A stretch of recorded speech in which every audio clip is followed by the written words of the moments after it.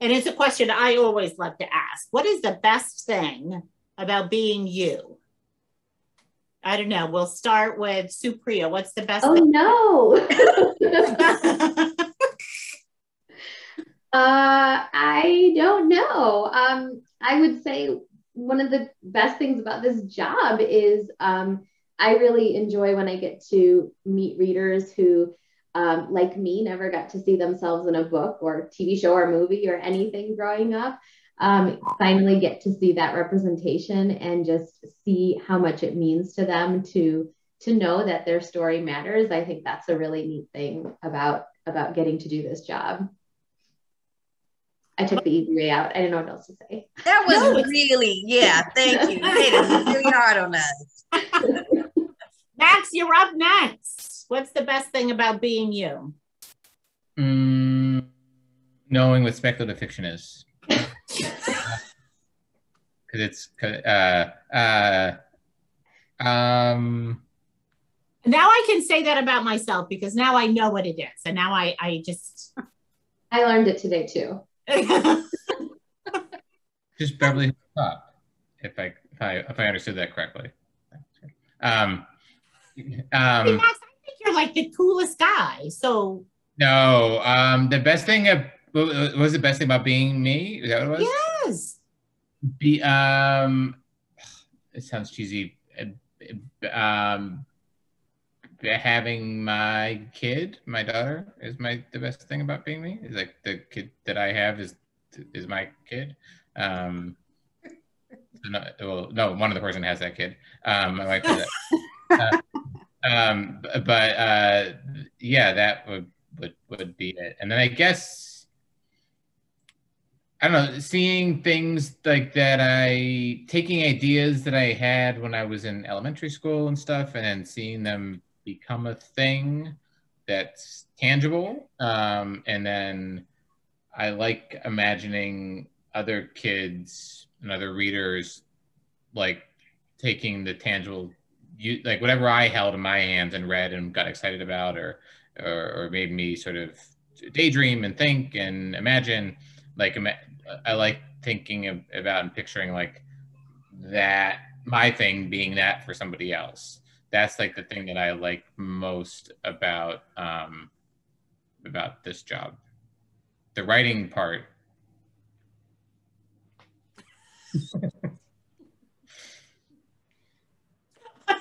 I love it. so, Minh, what's the greatest thing about being you? Besides uh-huh. from Connecticut.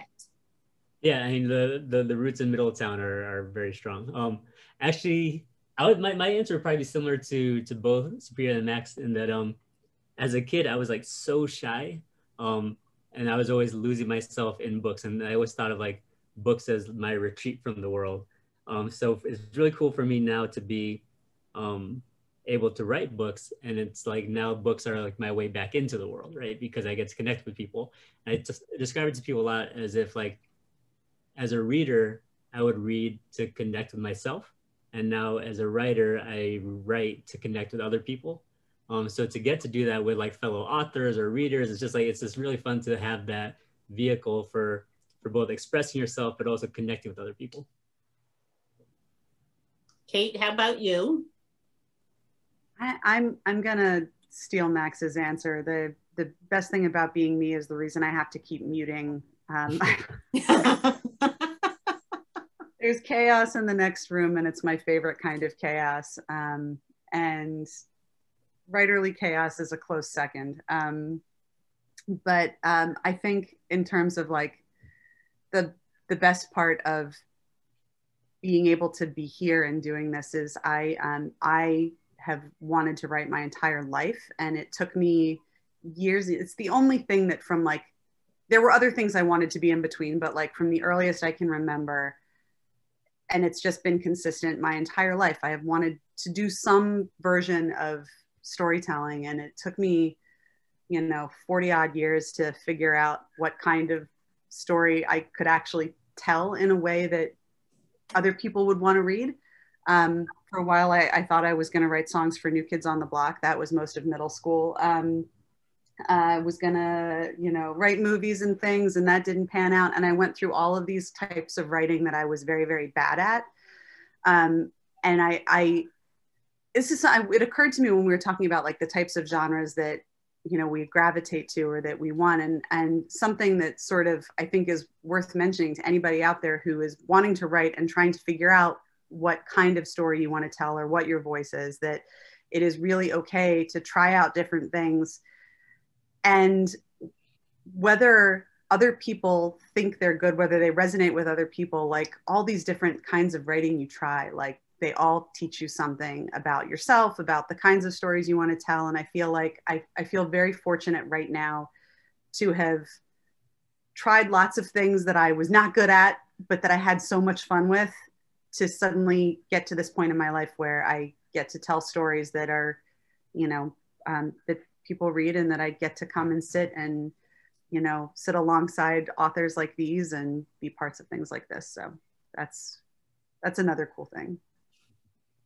Cool, Alicia. And there is going to be that question. So all of the authors are going to give a little piece of advice. So after, oh. so um, so Alicia, what's the best thing about being you? Jeez. Oh, I was gonna say my sense of humor, but everybody might not like it. So I'm gonna put that. I think I'm funny sometimes. You know, I like it, but I think you're hysterical. but Supriya went all deep and made everybody else go deep, and I got my into things, and and I and me becoming a writer. I mean, just now I've got to get heavy.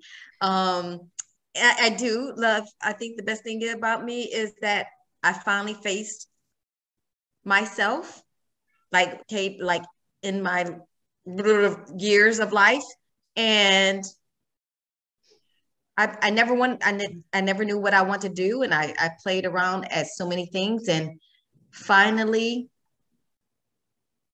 I became a writer, and I think me walking in that door and having the courage to open it is the best thing because because I discovered that I can do this and bring joy or conversations to other people. Yeah. Yes, and you do it extremely well.